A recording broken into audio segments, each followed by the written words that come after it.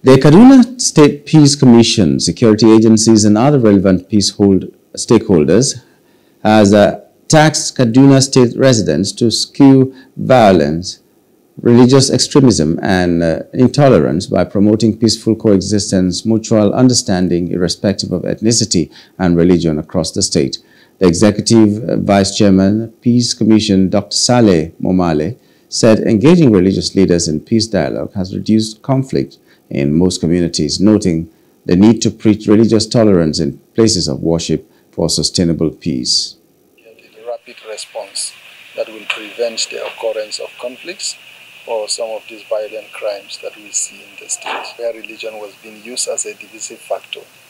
We are increasingly witnessing higher level of cooperation between Christians and Muslims, and we are beginning to see higher level of religious tolerance and harmony.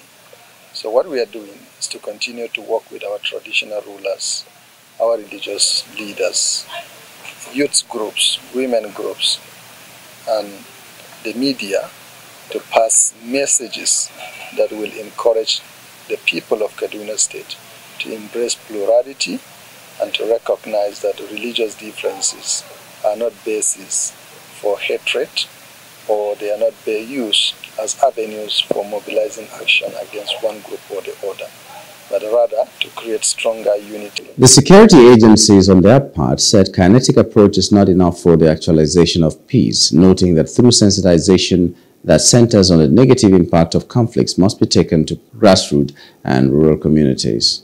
These days it's not just by using the kinetic method to go and enforce peace. Civil defense is known for grassroots initiative. And so we are working in collaboration with the community-based agents in family settings to bring uh, bring about peace. The early warning signals you see within the local community. So we call on the uh, general public to be patient with government, to be patient with the, uh, the security agencies, and also to avail the agencies information, useful information, useful intelligence on where they feel the security agencies can be of help. Development cannot come without peace. Peace is the key to every development.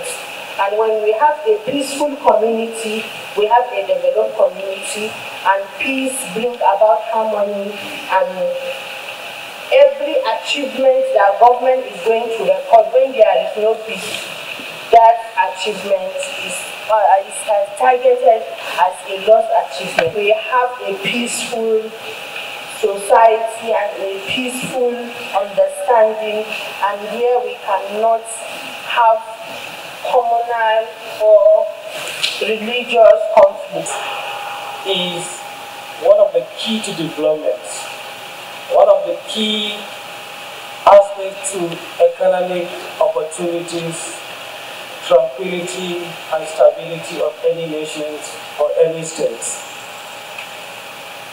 But that has not been so effective the way we sent the message to the people the people didn't get it across. How do we embrace our cultural diversity? How do we promote tolerance? How do we accept unity?